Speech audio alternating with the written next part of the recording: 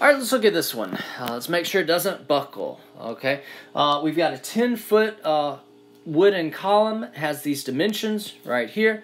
Uh, determine the critical load uh, if it is bottom is fixed, top is pinned. All right, so fixed and pin. If we look at the the um, um, the page before, this would be given to you. K is 0.7. So fixed and pinned, K is equal to 0.7 um, my P critical, which is what I'm trying to find, critical load, we'll say the critical force right here. P critical is pi squared EI over uh, KL quantity squared.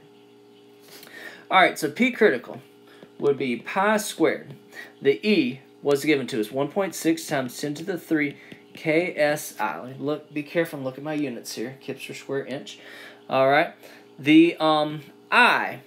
All right, well, we, we were given the cross section, so we can find the I. The IX, though, let's see, the IX is 1 12th BH cubed, so this would be 1 12th 2 4 cubed. Uh, this would be 10.07 inches to the fourth. Uh, but the the IY you know, this has different IX and IY. Let me calculate both of them. 1 12th HB cubed, 1 12th uh, 4 2 cubed. This would be 2.67 inches to the fourth. How is it going to buckle? All else, um, everything else constant, how is it going to buckle? It's going to buckle about the weak axis.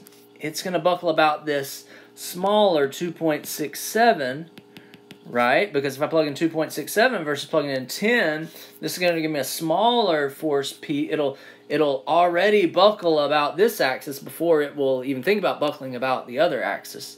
Uh, so use that smaller I um, if there there's any uh, choice. All right and then divided by k, 0.7, and then the length 10 feet, but be careful, look at this, kips per square inch, inches to the fourth, that's got to be in inches, so 10 times 12, mm, so 120 inches, yeah, let's just do that, well, uh, y'all, 120 inches, uh, and square that. All right, so the P critical would be 5.97 kips. Now that might be the answer. I mean, I'm, I think this is going to buckle before it crushes, before it yields. Um, but let me 5k. It's going to yield at 5 ksi. Now that's not ksi. That's this is just a force.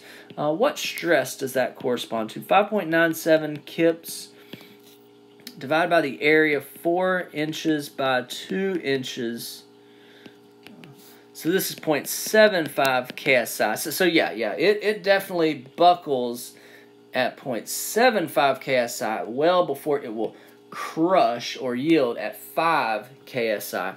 All right, so the answer that we're looking for is a force 5.97 kips, not 5.97 KSI. 5.97 kips uh, is the force that will cause it to buckle. It buckles about the weak axis, the axis with the smaller I, the smaller uh, moment of inertia. All right.